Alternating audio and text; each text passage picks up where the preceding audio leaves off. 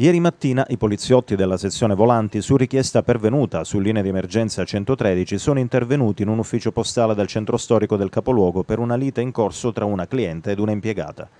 Giunti presso l'ufficio postale e sentite le ragioni della lite, gli agenti ricostruivano i motivi del contendere. La cliente, nel corso della mattinata, si era recata presso l'ufficio postale per sottoporre all'attenzione dell'impiegata una banconota da 50 euro che sosteneva fosse stata prelevata dal bancomat di quell'ufficio dal proprio figlio la sera precedente e che la donna riteneva potesse essere falsa.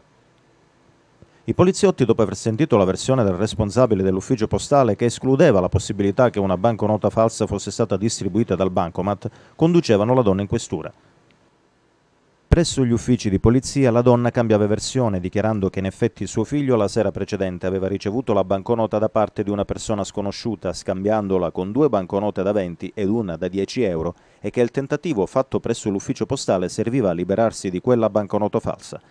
In ragione di ciò, la donna aveva simulato la lite con l'impiegata dell'ufficio postale cercando di attribuire a quest'ultima e all'ufficio postale la responsabilità dell'emissione della banconota falsa, sostituendola tra la prima e la seconda visita.